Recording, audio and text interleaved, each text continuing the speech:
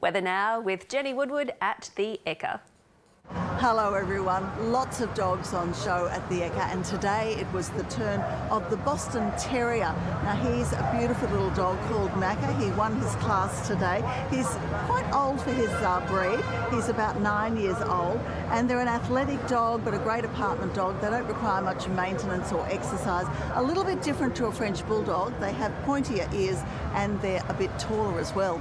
The other breed to see today was the gorgeous Dalmatian and the spots on the Dalmatian are like our fingerprints. They are individual to each dog. The Dalmatians have an amazing history that dates back to the Egyptians and the pharaohs. This is Pink. She won Best Puppy of the Day today. Pretty interested in what I'm doing. Hello. Yes, you are gorgeous. And they are dogs that, of course, have been fashionable throughout history. They have a beautiful temperament, and uh, as you can see, she's a lovely animal. Now, I have to get on to weather matters, and indeed, it's been an ideal day for the Ekka today. We had a top of 21 degrees, but there was a little bit of wind down by the bay, so a little bit cooler there.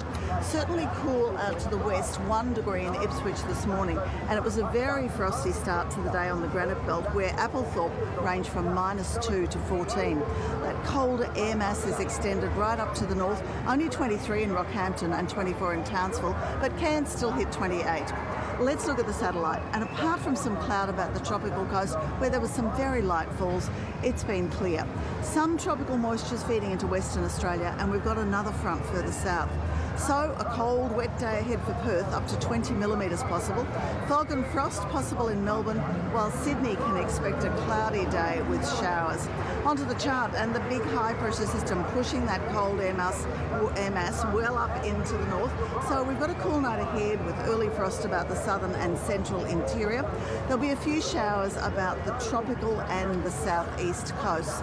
The next trough's going to move into the southwest on Thursday. Temperatures will warm up ahead of the line as it moves east, and we could see some showers south of about Emerald to Longreach. The highest totals of 15 25 millimetres south of about St George to Goondiwindi on Friday. Forecast tomorrow, and in the north, a strong wind warning from Torres Strait down to Cooktown. A few showers about the north tropical coast, but otherwise fine and sunny after a cool night in some places, 8 to 27 in Mount Isa. Inland, there'll be morning frost about southeastern parts of the southern and central interior, then a fine sunny day. In the southeast, fog and frost about the Downs, down to zero in Dalby and Stanthorpe, 16 for Toowoomba, a sunny day throughout. Brisbane can expect 9 to 21, a sunny day, light winds, sounds perfect, with a chilly night to the west, 5 for Ipswich, 6 in Beaudesert. On the bay, south-southwesterlies at first, but eventually turning south-southeast by afternoon. People's Day, that's Wednesday, we'll just have a bit of cloud on 21 degrees. It's the same story on Thursday, but we'll have a few showers on the forecast for Saturday still, up to 10 millimetres expected. Well, it's action stations here at the Dog Pavilion. There's a lot going on, and they've had a very big day, so I need to let them go home and have a nap. Good night. Oh, the perfect ending. Thanks, Jenny. Time now for 7.30 with Sarah Ferguson.